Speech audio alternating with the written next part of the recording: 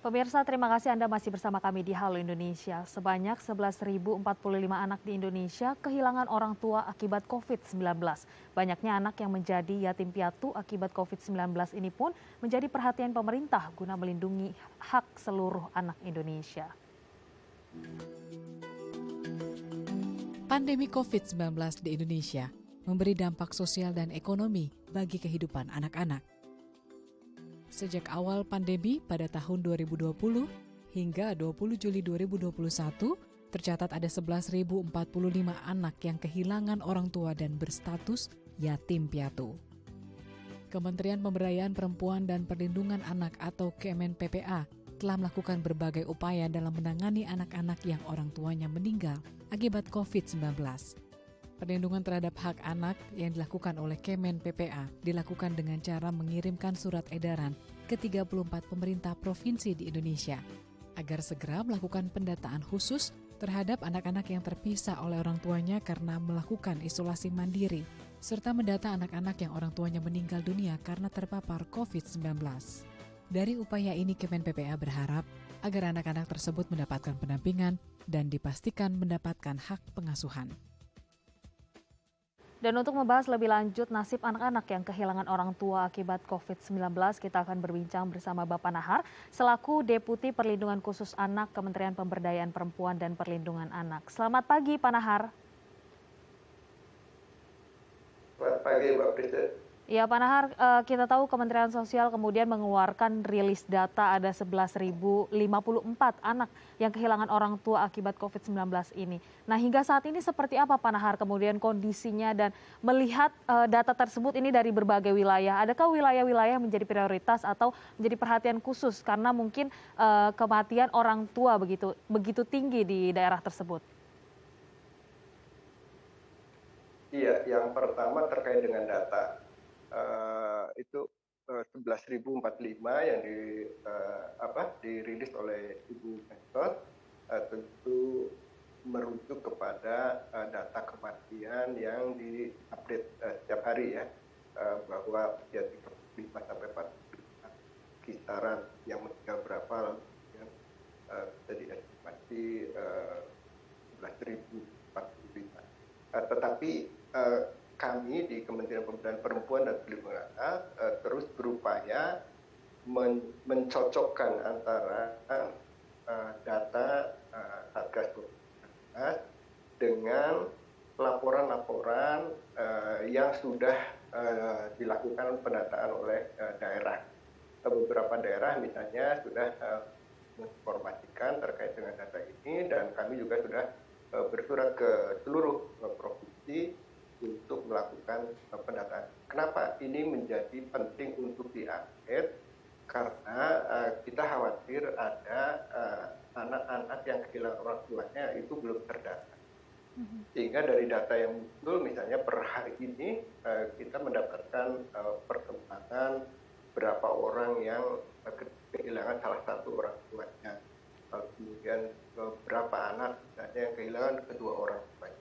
Tapi itu belum seluruh wilayah. Dan kami hari ini sedang mengumpulkan seluruh uh, unsur dari pemerintah daerah uh, yang berkaitan dengan penanganan anak uh, yang menjadi yatim ini seperti dinas perempuan, dinas sosial dan semua unsur yang memungkinkan untuk bisa mendeteksi dan melaporkan dalam uh, sebuah mekanisme yang datanya nanti akan dihimpun kemudian dianalisis kemudian nanti akan ditindaklanjuti dengan penanganan uh, yang tepat ya. Uh, sehingga berapa anak siapa yang mengasuhnya ini yang terus uh, kami lakukan untuk terus diupdate karena uh, dari total uh, data global itu kan uh, ada juga misalnya uh, jurnal internasional yang sudah menerbitkan misalnya ada 1,1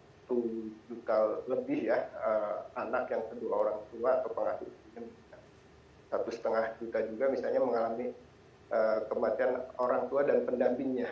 Mm-hmm. uh, ini uh, apa ya uh, pendamping pendamping yang biasa mengasuh ini angka-angka ini yang terus uh, kita uh, cek di Indonesia. Dan kita menggunakan update data yang sudah dikeluarkan oleh Satgas dengan laporan-laporan dan upaya-upaya pendataan yang sedang kami giatkan untuk terus dilakukan Baik, berarti sejauh ini memang penyusunan data terus dilakukan, update data terus dilakukan. Ini juga bekerja sama. Diharapkan setiap provinsi begitu ya Pak ya, e, memberikan data-datanya seperti apa kondisi anak-anak mungkin yang kehilangan ataupun terpapar begitu. Nah, kalau kita ya. berfokus pada e, bagaimana kemudian perlindungan anak-anak yang saat ini harus menjadi yatim ataupun piatu di tengah pandemi COVID-19 karena mungkin orang tuanya terpapar COVID-19 dan meninggal. Kemudian apa sih Pak langkah e, upaya yang dilakukan untuk uh, juga melindungi begitu anak-anak yang ditinggal oleh orang tua mereka? Ya, uh, ini kita bicara soal uh, anak berhadapan dengan situasi pandemi COVID-19 gitu ya. Jadi hmm. sejak uh, 2020 awal, misalnya upaya yang dilakukan adalah kita menyempurnakan kebijakan. Salah satunya adalah menyesuaikan regulasi menghadapi um, tantangan di masa uh, pandemi. Salah satunya adalah kita um, menyusun protokol-protokol uh, yang terkait dengan pelibatan. Salah uh, dua di antaranya yang berkaitan dengan pendataannya adalah uh, protokol B1 dan B2 tanggal 30 April tata kelola data anak, lalu kemudian uh, terkait dengan pengasuhan anak uh, dengan uh, orang tua yang meninggal. Hmm. Ini uh, dari sisi uh, regulasi dan kebijakannya. Lalu kemudian di masa pandemi juga uh, data ini harus paralel dengan upaya-upaya yang dilakukan. Upaya-upaya yang dilakukan misalnya uh, muncul kasus anak di Bekasi uh, tiga orang harus kehilangan kedua orang tuanya.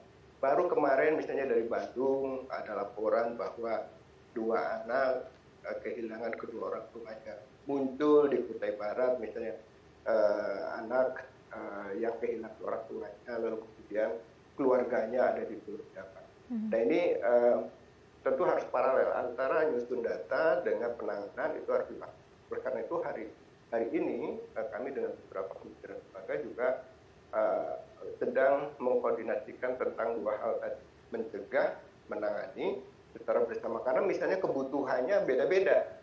Jadi uh, bicara soal anak yang terdampak COVID itu kan bicara soal anak dalam situasi darurat COVID gitu ya.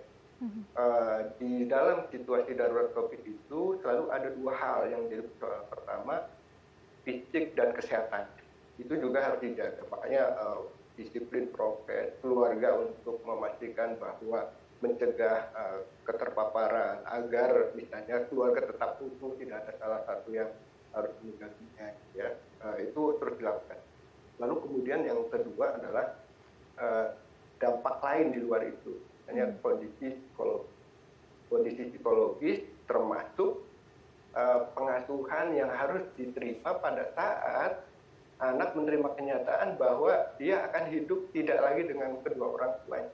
Ini yang uh, kita uh, pastikan bahwa kebijakan upaya yang dilakukan berharap dapat memastikan anak-anak uh, yang menghadapi masalah seperti ini bisa ditangani dengan uh, baik baik kebutuhan dasarnya maupun kebutuhan khusus ya, dari dua dua pola ini yang harus dipastikan sehingga data menjadi penting juga tidak kalah penting upaya penanganan segera dan kita berharap itu menjadi uh, instrumen untuk memastikan penanganan jangka panjang karena kehilangan orang tua karena meninggal hmm. itu kan persoalan jangka panjang gitu ya. Oleh karena itu tidak hanya sekedar misalnya hari ini anak ini dikasih uh, anu kebutuhan dasar untuk tanda pangan itu. Bukan hanya itu persoalannya. Karena ada jangka panjang. Dia kan harus hidup dengan orang tua pengganti. Hmm. Hidup dengan orang tua pengganti kan nggak nggak mudah gitu ya. Mending kalau misalnya uh, orang tua penggantinya sama seperti uh, orang tua kandungnya gitu ya. Kalau seandainya kasih sayangnya nggak cukup, lalu kemudian uh, kalau seandainya juga apa uh, melakukan hal-hal yang tidak kita harapkan kan ini akan akan berbahaya buat anak-anak. Oleh karena itu maka dua upaya uh, pemenuhan uh, fisik dan kesehatannya juga uh, uh, uh, lain uh, seperti pendampingan psikologis dan kebutuhan-kebutuhan seperti pengasuhan.